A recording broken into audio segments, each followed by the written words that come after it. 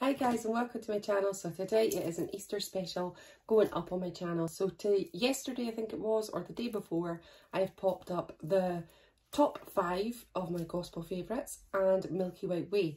So now we're moving on to another gospel favourite for today and tomorrow and both that I have chosen are from He Touched Me album. Now I had to because I absolutely love it. So um, He Touched Me was released in 1972 but it was recorded March to June 1971. Okay, so there's some amazing songs in here. It's just a beautiful, beautiful album.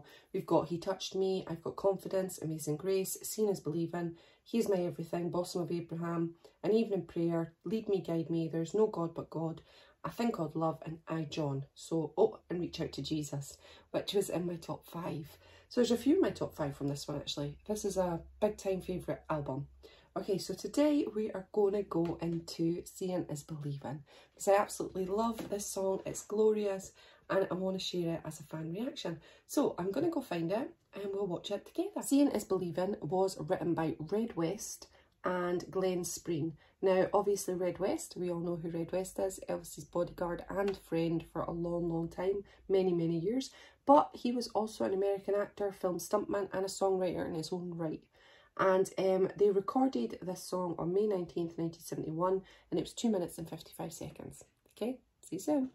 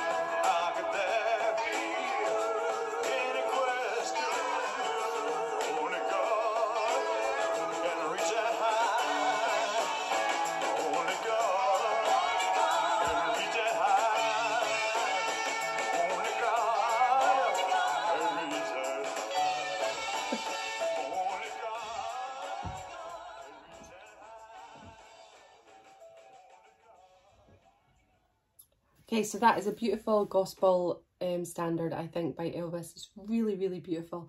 And it's um, gorgeous just in that album. And I absolutely love it. And it's one of my absolute favourites. When I hear it come on, I am ready to sing along to it and enjoy this as a beautiful gospel song. So I hope you've enjoyed it as um, this little spiritual Easter weekend. Um, I hope you enjoyed listening to this song again. If it's your first time, I hope you enjoyed it. If you're revisiting it, isn't it always lovely to revisit an amazing song like this one? Alright, so take care of yourself and have a fantastic day whatever you're doing, and I'll see you soon. Bye everyone.